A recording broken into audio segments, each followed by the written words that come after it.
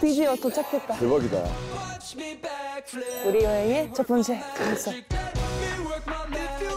프랑스가 강화도를 점령했을 때 네. 이곳에 안 불. 지르고 이런 장소 방문하면은 한국이 좀 고생 많이 했다라는 느낌이 들어요. 이게 운수가 좋을 조짐이라는 뜻을 갖고 있다고 합니다. 강화도의 특산물을 느낄 수 있는 가장 쉬운 방법이 아닐까? wow. 선생님 진짜 맛있어요. 솔직히 말하면 이걸 어떻게 이길 수 있나? 가까운 강화도에서 봐주시는지 몰랐거든요.